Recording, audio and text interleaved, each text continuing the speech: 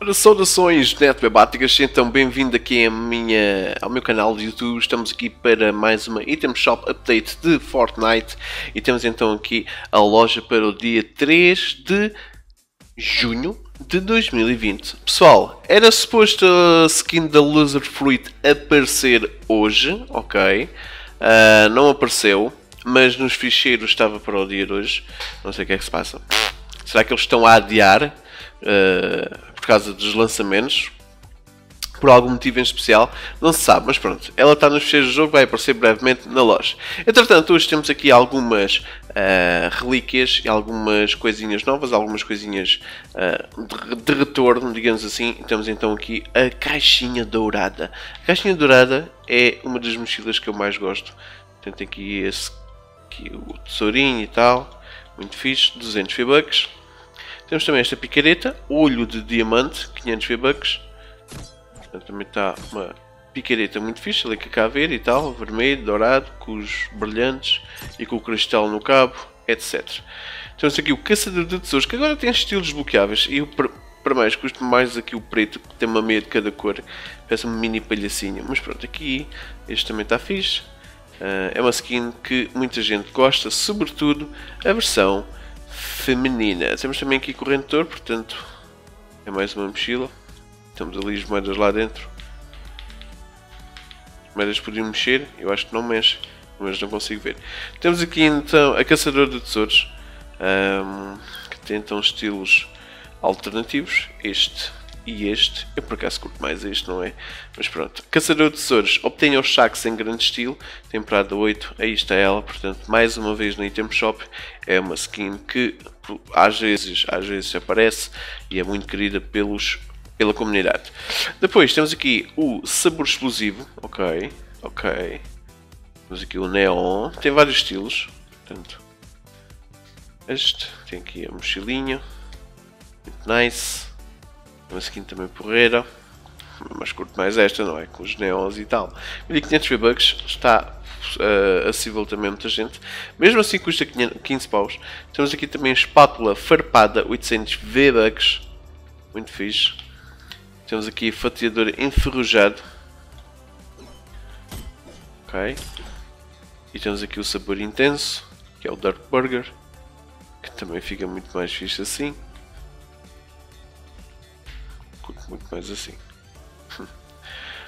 Temos aqui também a mochila com o hambúrguer e com o ketchup e a mostarda à sua volta. Depois, Oblivion está cá outra vez esta skin. As skins que o Midas tem lá no, na estante douradas vão aparecer na loja, portanto, esta é uma delas. Aqui está, mais uma vez, esta skin porreiríssima.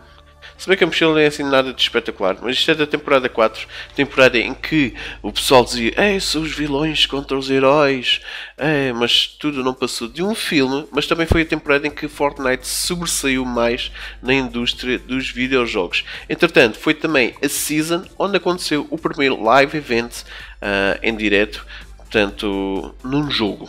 Yeah. O lançamento do foguetão a partir da base dos vilões. Muito nice. Temos também aqui o Criterion, ok.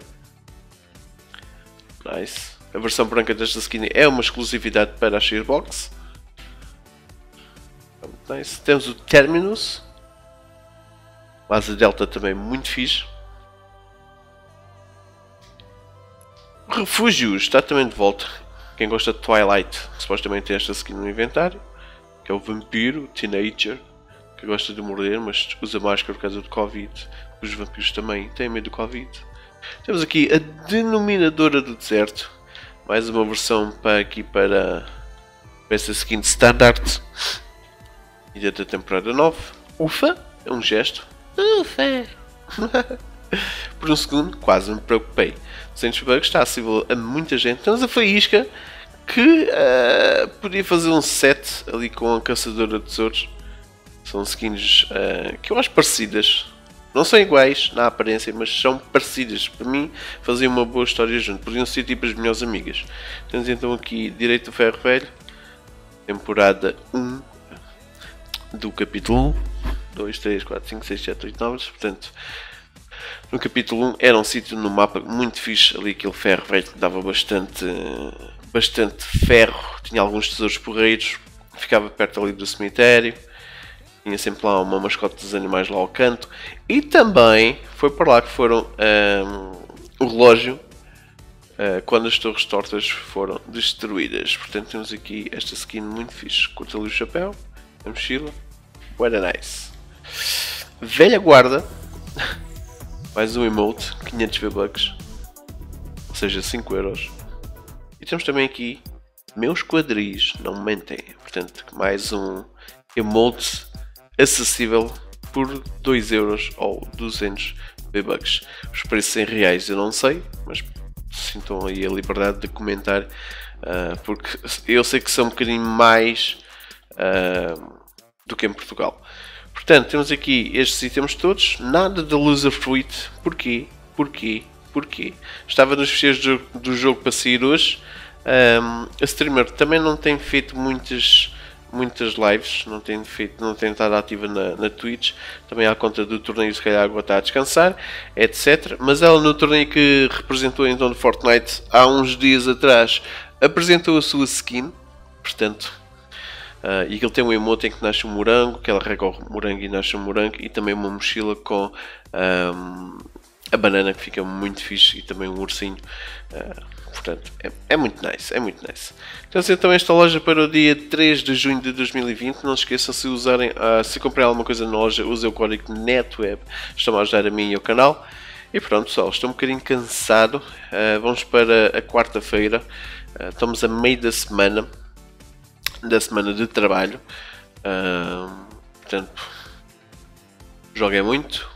Atenção que há evento ao vivo no sábado, às 15 horas para o Brasil e, e às 19 horas para Portugal. Depois disso, um, a skin do Ciclone sai na loja e temos então aqui uh, Fortnite na sua reta final deste capítulo 2, temporada 2 vou-vos avisar é que não me peçam skins, não estejam sempre a ser chatos a pedirem skins e atenção às teorias sobre a nova season. Não acreditem, porque quando alguém souber alguma coisa, eles próprios libertam, porque é assim que funciona o marketing da, da Epic Games.